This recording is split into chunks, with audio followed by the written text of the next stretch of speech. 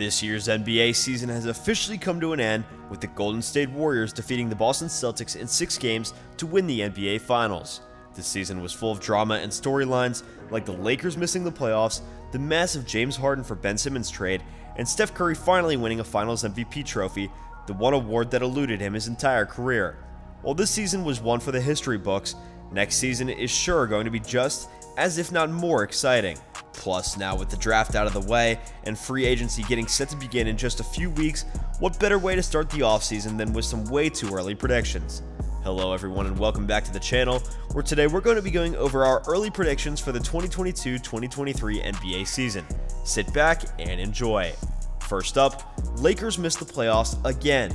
This one might not be a big shocker for everyone, especially after how much of a disaster the season was for the purple and gold.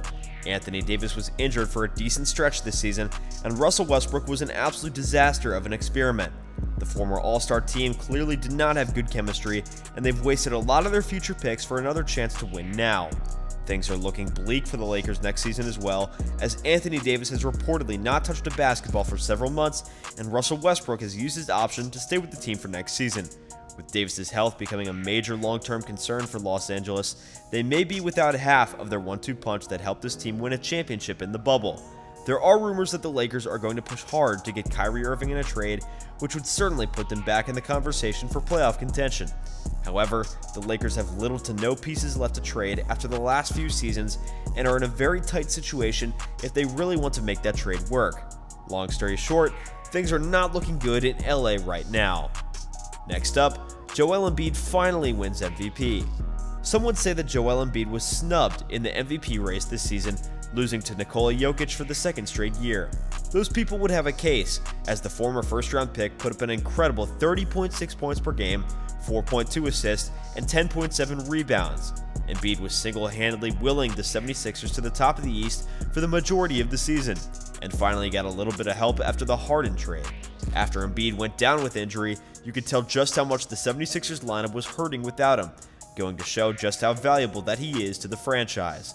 It's safe to say that Embiid is probably looking for revenge after another heartbreaking playoff series loss, this time to the Miami Heat. A very hungry Embiid is going to come back better than ever and walk away with the MVP trophy with ease, especially if they end up trading for Kyrie Irving. If Embiid does win MVP and Kyrie ends up in Philly, it might finally be the end of the process for the 76ers. Now, if this doesn't happen, we would rather not have the entire city of Philadelphia ask for our heads, so please don't hold this against us. Next up, Jabari Smith wins Rookie of the Year.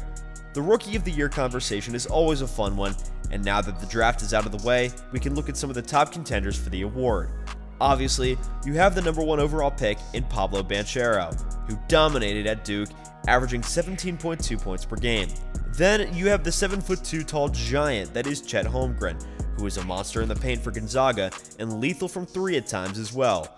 However, the Magic and Thunder are going to regret not taking Jabari Smith first or second overall, as the forward from Auburn will dominate his first season, taking home the Rookie of the Year award.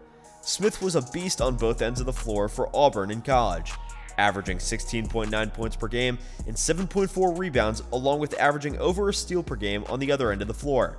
He also shot 43% from the field and a very impressive 42% from three.